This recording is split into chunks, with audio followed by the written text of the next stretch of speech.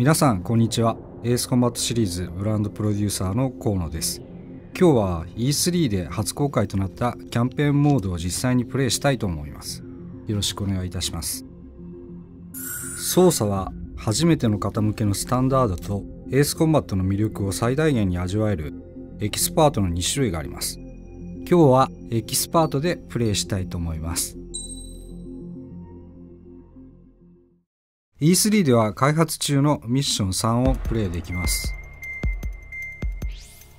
えー、これはブリーフィング画面です、えーと、ユージア大陸があってじっくり見てもらった方がいいですね out after the declaration of war saw the peacekeeping forces of various countries, including Osea, suffer major damage.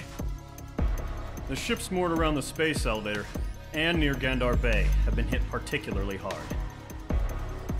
Numerous ships have been sunk and abandoned. Fortunately, our cutting-edge aircraft carrier Kestrel 2 was at sea, so it was spared from the attack. Kestrel 2 is now preparing to launch an attack against Aruja's capital, Farbanti. The aircraft carrier Vulture also managed to escape Gandar Bay safely. However, it lost all its aircraft, so it's sailing empty. Today, the International Union Peacekeeping Force reclaims its bid to the space elevator.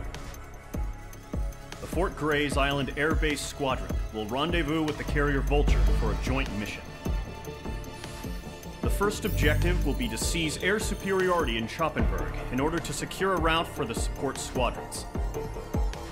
The enemy maintains air superiority over Schoppenberg, so expect heavy resistance from enemy aircraft. There's more, so listen carefully. Right from the start of the war, the enemy has been deploying drones. They're using a new advanced type of drone. The unmanned airborne aircraft carrier, the Arsenal Bird, carries this new drone. MQ-101. The Ocean Army headed up the development of the massive Arsenal birds and dispatched them to the space elevator to provide support. However, it's been reported that the carriers may have fallen into the hands of the Erusian forces. If that's true, it could be a significant obstacle for us. We need to regain control of the space elevator ASAP. Good luck out there. ということでブリーフィングを確認してシリーズ同様に敵の配置を確認して自分たちの位置確認してミッションをスタートすることになります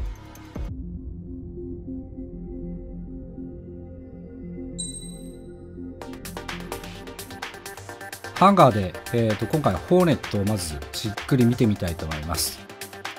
モデリングも成功ですけれども今回 4K テクスチャーを使っているのでリベットの一つ一つまで確認することができます。このモードではじっくり戦闘機の美しさを眺めてほしいですね。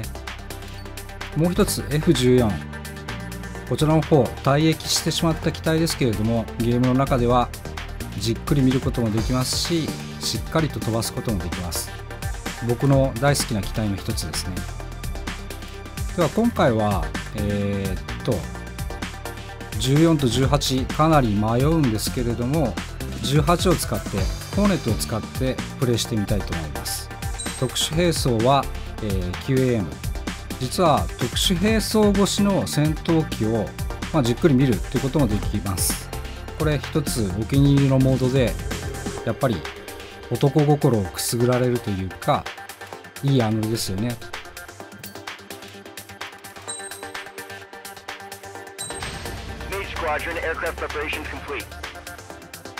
ではこれからミッション3を実際にプレイして皆さんにエースコマット7の魅力を伝えたいと思います。従来のシリーズ同様に三人称ハッドコクピットと視点変更が可能です三人称ですね。ハッドコクピット。コクピットの作り込みも今回かなりこだわっています。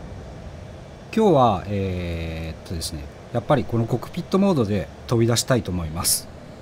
では行ってきます。海の表現っていうのも今回きっちりこだわってくれてます。景色を眺めるの本当最高です。ギアアップをしてこれから戦地に向かいたいと思います。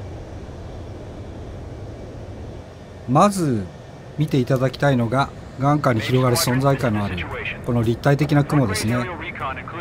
雲は実際に存在させてますのでコックピットモードでこうやって入っていればコックピットグラスに水滴がついたり質感まで感じることができます。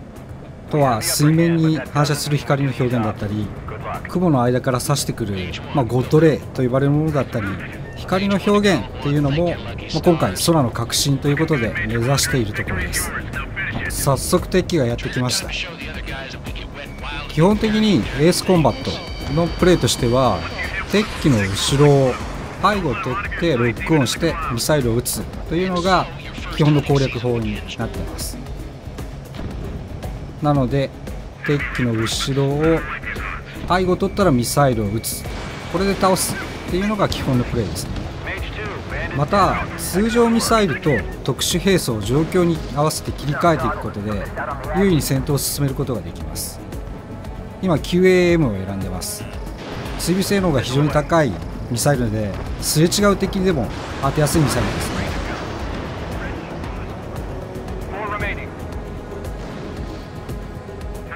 こういうボリューム感のある雲を積乱雲なんかは中が気流が荒れているので戦う際にはかなり注意が必要です雲と気流によって立体的な空のフィールドを作ってますあ一発当てたんですが敵機がチャフフレアを使って避けることもありますので今度こそ撃墜を狙います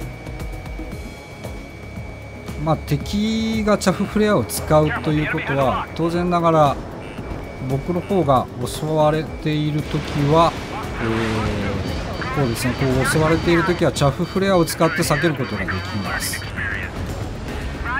なので今みたいに敵を追い詰めながらでも回避コードは取りたくないという時はチャフフレアで逃げるっていうのも一つの攻略の仕方。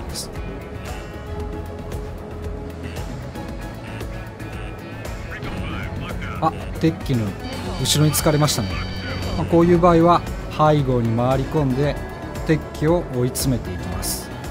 ただ鉄器雲の中に逃げ始めているので雲の中を追いかけるというのは気流もありますので機体のコントロールも少し乱れたりという若干難しい環境に入ります。かつ水滴がどんどん凍っていく、まあ、アイシングという現象が起こってってこうなってくるとなかなか視界不良でこのゲーム。あーっと。雨が降ってますが、まあ、ギリギリ地面を避けられた。っていうとこです。これから撤去を追い詰めていきますね。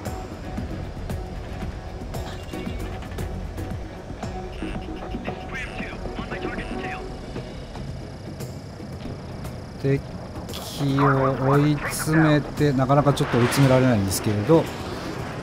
QAM を使ってちょっとズルしちゃいます。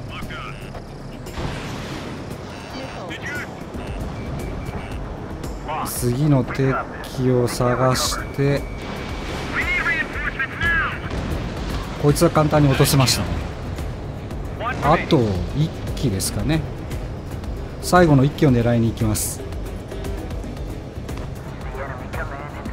あ最後の1機雲の中にいますね。雲の中ではちょっとコンテナもレーダーも影響を受けるので当たるかな？当たんない。うーん雲の中か。これで倒せるかな？避けられてる。うー。何としても落とさないとですね。あよかった。というふうに雲の中で、まあ、かなり熱い戦闘が繰り広げられるっていうのが今回の大きな特徴になってますね。さあミッション終わり。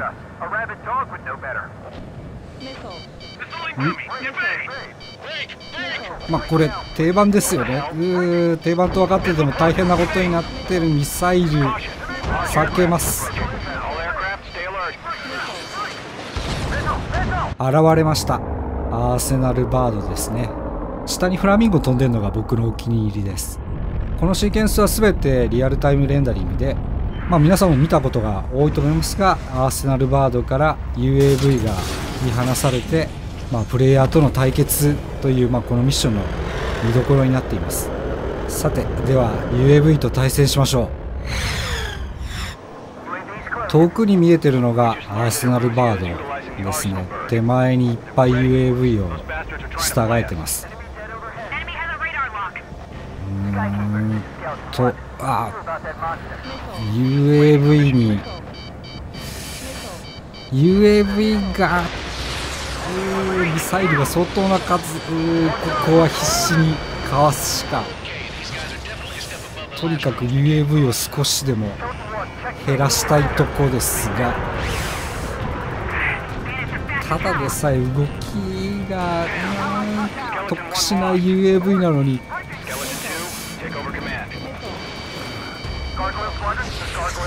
ミサイルずっと追っかけられてる。UAV が雲の中に入っていくともう手出しできない。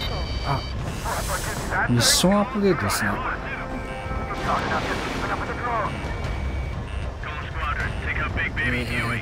そうなんとか。そうです。ここで、まあ、アーセナルバードを倒せって話なんですが、まあ、そもそもこうやってミサイルに追っかけられている状況で。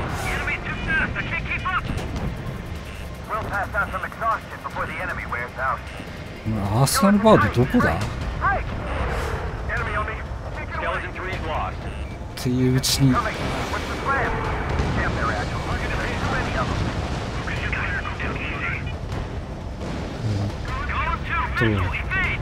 あ今一瞬見えたか。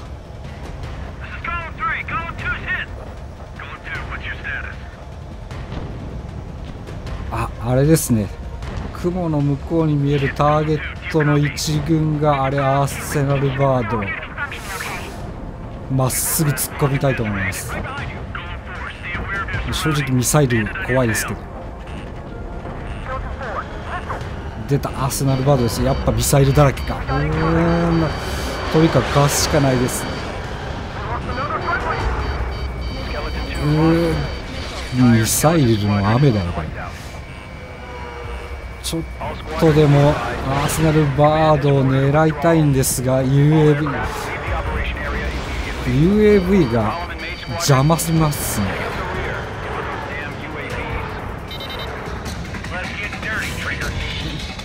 これはもう撤退戦に入りました。もうとにかく味方を守るためにターゲットを落とし続けます。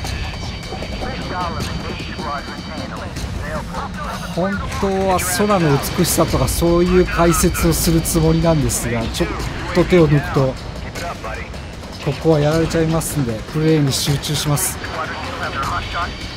厳しい戦いだけど倒すしかない。せるかな。うーん。当たれ。というところで E3 のデモは終わりになります。以上、えー、プロデューサーの河野でした。